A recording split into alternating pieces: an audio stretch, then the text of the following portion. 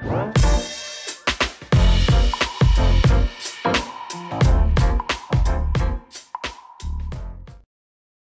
YouTube and welcome to another reef update for the Aqua Reef 400.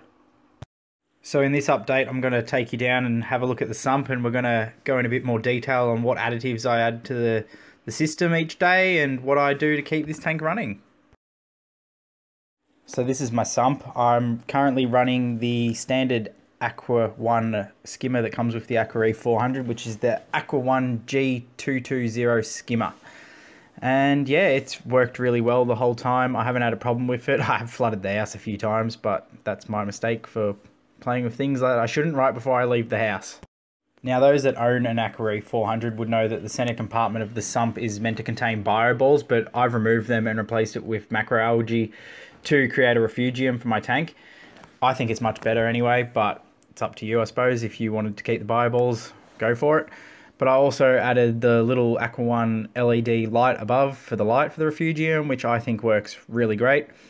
I've also taken out the the foam pad kind of things and moved them into the first baffle, but where they were, I've put a filter sock.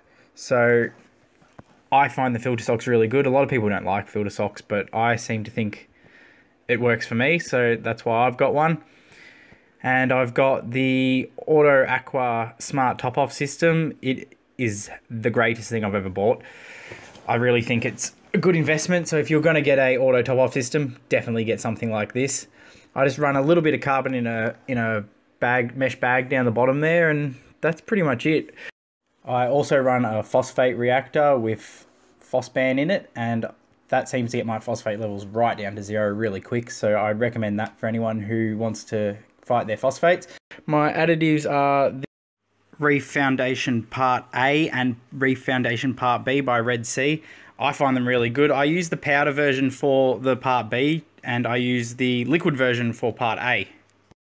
So I feed my fish a mixture of flake, little pellets, and a lot of different types of frozen food like mysis, brine shrimp, bloodworm, you know, the usual kind of stuff. And yeah, my fish really like the frozen food. So they always devour everything. So that's it for another reef update. Um, yeah, keep watching my videos and please subscribe.